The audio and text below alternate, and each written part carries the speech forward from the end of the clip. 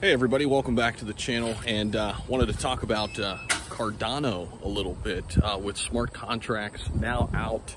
Uh, the question is what happens next? And uh, developers, from what we're hearing, are really loving the Cardano smart contracts platform.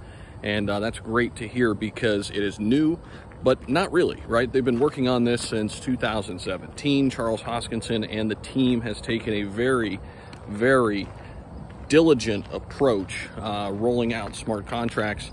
As I mentioned, 2017 they started.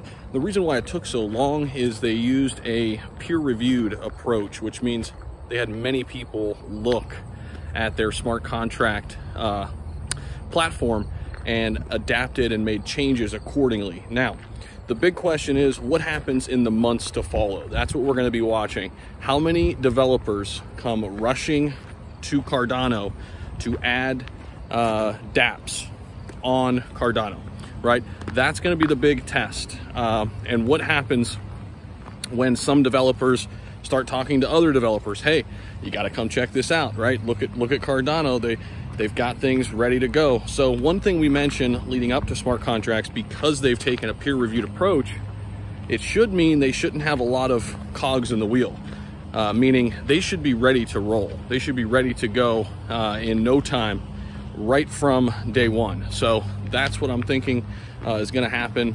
And we're going to continue to watch things very closely. But uh, good news out of Cardano. It seems like smart contracts were very successful on the launch. You know, I know the price didn't skyrocket like a lot of people wanted, but I think there was a big buildup and the price definitely increased quite a bit leading up to the actual launch date. And I did say that there was a chance that, you know, we'd kind of have a buy the rumor, sell the news event with Cardano and uh, the, the months following would be even bigger. And I still think Cardano can set new all-time highs later this year. I still think that is definitely in the cards for Cardano. And I can't wait to see what happens next in terms of development because that's really the big step, okay? Um, here, check this out. Let me show you. Should be able to flip this around, huh? Here, we'll do, we'll do this.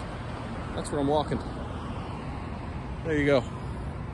Give you a little sneak peek of where I'm going. So there we go. Hopefully you got some value out of this quick one. Uh, just wanted to, uh, as I'm walking, create a little talking head video about Cardano and ADA. Also, Patreon link down below in the description. And uh, yeah, come on over and join us if you want help with your portfolio. Be happy to do that for you. I'll take a look at it. You can send me some screenshots. Helped uh, two different people out yesterday with their portfolio and uh, looking to help you next. So see you in the next video.